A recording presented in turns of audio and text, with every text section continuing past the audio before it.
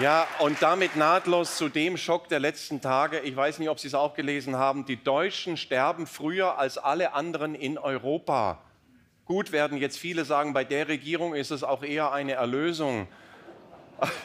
Aber ich bin bei der Meldung direkt um zehn Jahre gealtert. Und man glaubt es kaum, in Ländern in Europa mit S lebt es sich dafür besonders lange. Schweden, Schweiz, Spanien, Saarland. Nein, nee, Saarland, da kommt es einem nur länger vor.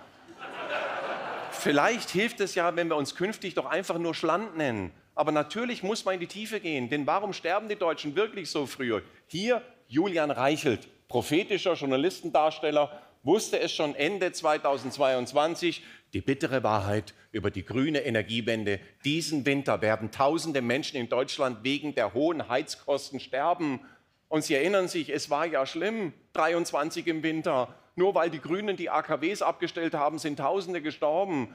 Allein bei uns in der Straße hat das Packeis fünf Nacktschnecken dahingerafft. Ich für mich habe beschlossen, am Leben zu bleiben, einfach nur damit Julian Reichelt nicht recht bekommt. Und einer,